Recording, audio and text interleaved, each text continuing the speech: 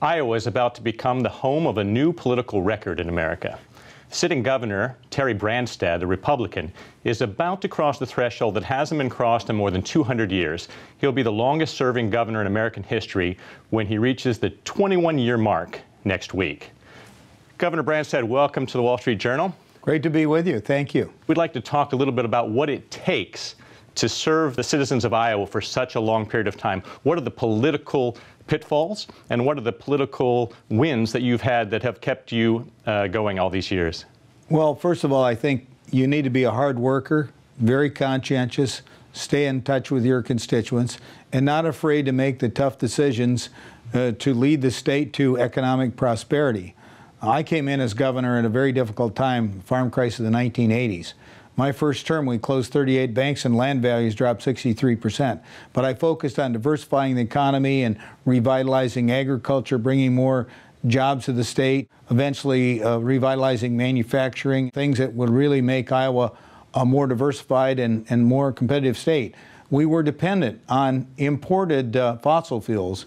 Today, we produce more ethanol than we consume in gasoline. We've become a leader in renewable energy. So I'm real proud to have been the governor that's led the effort that strengthened Iowa's economy and made it more diversified. And uh, I go to every county every year, I've stay in touch with that. the people you, you of just Iowa. finished. You got to the 99 counties again this year, right? That's right. Do you feel that in this uh, this political uh, cycle here, as the primaries coming up in Iowa really soon, that there are particular hot button issues that the Iowans will want a candidate to address? Well, the caucuses are coming up February 1st.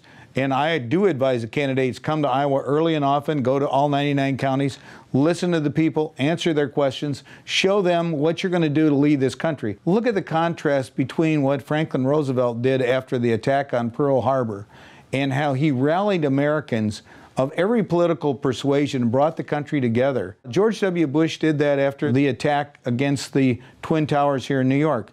But uh, President Obama failed to do that. He didn't offer any new policies and he, and he really went back to a very divisive issue, and that is the whole idea of uh, gun regulations. And that's not a way to unite the American people. I think really we need a leader that will unite the country, uh, bring all the parties together, and recognize we have a huge external threat from ISIS and from Islamic radicals that uh, threatened uh, not only our country, but threatened the whole uh, peace and stability in the world. So, one of the boldest responses to that threat uh, in this election cycle came just this week from Donald Trump, who said, Until we know more about what's going on, we need to stop all Muslims from coming into this country. Did you have thoughts about how that plays in Iowa and, and your well, politics?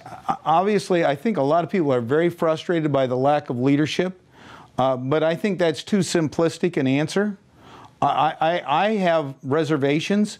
The administration won't share with us who these people are or who they're being placed with and we have fear for the safety of our people. You're talking that now about the Syrian refugees. I'm talking about the Syrian refugees, and I'm among 26 governors that have said we want to pause in this. I think we just have to do a much better job of assuring the safety of our citizens, and and I don't feel that. Uh, uh, this administration has taken it seriously. What do you think, in regards to situations like San Bernardino, uh, needs to be done differently at the local and state law enforcement level that maybe doesn't involve the federal government?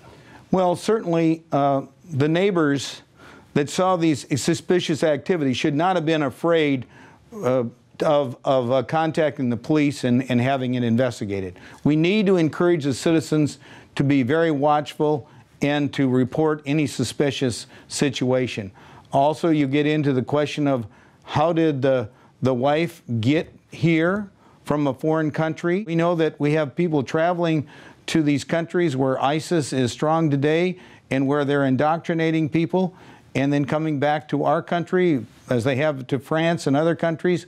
That's a very dangerous situation. In Iowa this year, when heading into the primary, do you think economic issues or these national security issues that we've been talking about are the preeminent issue for Iowan voters? Well, our caucus, which is going to be held on February 1, Generally, the economic issues would be the primary issue. But because of the tremendous threat we see, I think the national security issues are going to play an even more prominent role. Uh, I think things like uh, renewable fuel standard and the administration's failure to maintain a robust renewable fuel standard. It's hurt our farmers, it's cost us jobs. Uh, that's an issue. Uh, I think there's concern about the national debt approaching $19 trillion. It's unaffordable unsustainable, and that's true with Obamacare as well.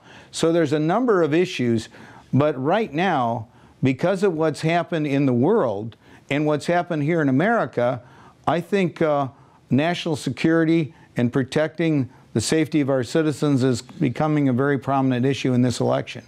So, of all the candidates in your party that are coming to Iowa for that February 1st primary, do you have a sense of any of them with a message that's resonating more than the others? Well, I think different uh, candidates appear, appeal to different people, and Iowans take their responsibility very seriously. Uh, but I've also remained neutral because I want people to feel welcome. I want them to know that uh, uh it's a level playing field. I, I, I, think they should work hard right up through February 1st. I think Republican turnout this year will be the biggest in history of the Iowa caucuses. Well, that's good political advice, and uh, we'll see how many uh, uh, how many of the candidates can follow your advice and follow your lead and win the win the hearts of Iowans. I'd like to thank you very much for joining us.